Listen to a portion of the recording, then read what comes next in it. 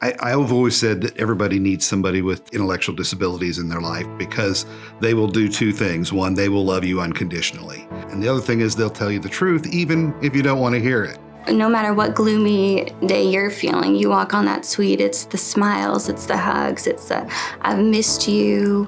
You can see on every staff member's face, it's not just a job, it's you're coming to take care of your friend or your family.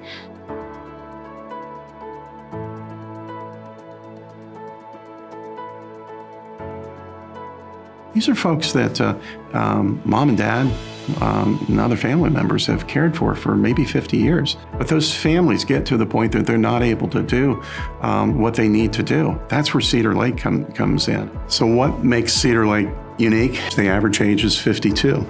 What that means, though, is that folks are going to be with us for a long time. We have folks that have lived with us for over 50 years, which is incredible. At Cedar Lake Enrichment Center, we're able to support a variety of different adults with intellectual and developmental disabilities. So we do that with five core classes um, and fully trained staff. So we're really able to meet any individual's needs. Um, we're trained on their individual plan and kind of work them through the classes as the day goes on. Cedar Lake has individuals living independently in apartments and provides support for them. There are individuals in the community who are living in group homes in 24 hour staffed residences and day programming. There is no place like Cedar Lake. The commitment to the individuals we provide care for is organization wide. If there's a need, we will find a way to meet that need. Help them find and keep a job, help them have a friendship or a boyfriend or a girlfriend. Whatever it is that that person wants and needs, um, we step in to help them do those things and support them in the ways that they need to be supported to achieve those goals. We do everything in therapy from therapy to hair, nails, makeup, just anything to make their lives better. And they want to go to the museums and they want to go to ball games and they want to dance and they want to sing and they want to have fun.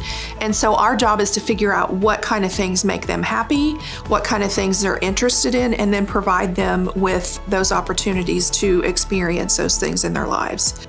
What I love most about the job at Cedar Lake is the individuals. They are the job of Cedar Lake and they're the joy of Cedar Lake.